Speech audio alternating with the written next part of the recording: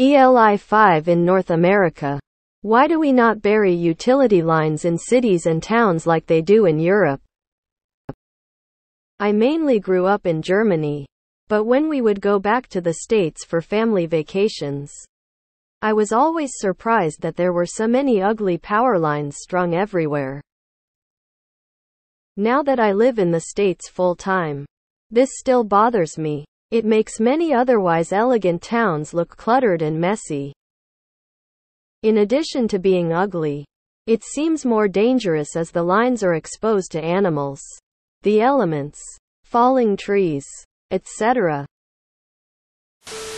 Burying power lines is a lot more expensive than stringing them in the air. It is more difficult to install and maintain them. Burying infrastructure is usually reserved for when it makes sense to invest that effort even. Germany isn't going to be burying power lines running through long distances of undeveloped land. Germany has an average population density of about 240 people per square kilometer. The USA has an average population density of about 36 people per square kilometer.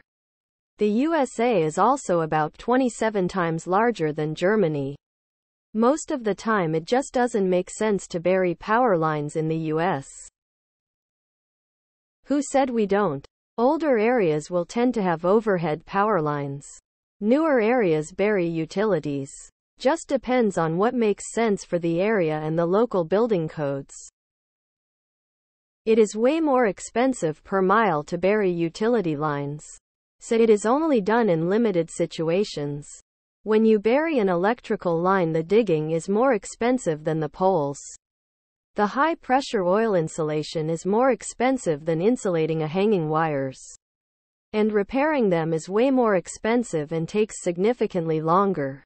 Add all that to the fact that the US has way more miles of lines than any single European country. And you have your answer. A local cooperative in Texas is currently charging $5,000 per span i.e. 300 feet of overhead single phase. Underground URD is $15,000 for the same length. This is in soil with no impediments. Doing it in a downtown area like Austin would triple even that. Due to the underground water pipes, sewage, paving, etc., most of which is poorly documented. If this were a three-phase trunk feeder and could not be designed into a loop feed, it would probably have a separate fourth conduit run with wire enclosed as an emergency backup, further increasing the cost. New construction always buries them. But the USA had all of the aerial utilities before Europe. So many of them predate the undergrounding standards. In addition to the other answers, on the west coast you have an additional factor that Germany doesn't earthquakes. While an earthquake can damage both buried and above ground lines, it's faster and cheaper to repair the above ground lines. And in a major earthquake repairing and restoring power is a priority. This comment section is absurd. X200B New developments bury utility lines and many municipalities are actively converting from overhead to underground. It just takes time and money. Nobody is choosing to go overhead rather than go underground if they can afford it. X200B. The amount of people in here trying to justify it out of patriotism is silly. I work for a utility and in my city, there's a bylaws to protect above ground utility poles to accommodate the movie industry. Apparently it's hard to film a movie set in Brooklyn 1968 without poles in the background. The utility poles make the city more competitive as a film location. We do. But there are real issues with buried utility lines. There is a project in SoCal to repair some underground power lines and the budget and time Estimates are hilarious. Inertia. There is not a huge demand from the ratepayers for this. Especially when told we can move the lines but it will cost you money and higher rates. And we will also have to rewire the final connection from our main conduit to your home. Which will cost you money directly. Our customers are electric cooperatives. And I've heard it said that underground is 10x as expensive as overhead. You can repair overhead several times and still come out cheaper.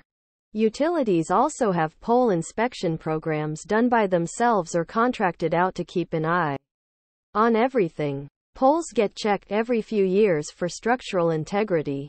If it looks iffy, they might even drill a little hole to check inside for rot. Cost? Only a guess, but it's definitely cheaper to run them above ground rather than bury them. I have lived in both scenarios.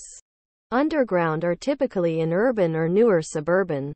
Above ground are rural or older suburban. I think density and costs are main driving forces. I live in Ontario. Our city has been burying lines since at least 1986 when my family built a house in a new subdivision. Since then, I've lived in two other newer neighborhoods where the lines were buried as well.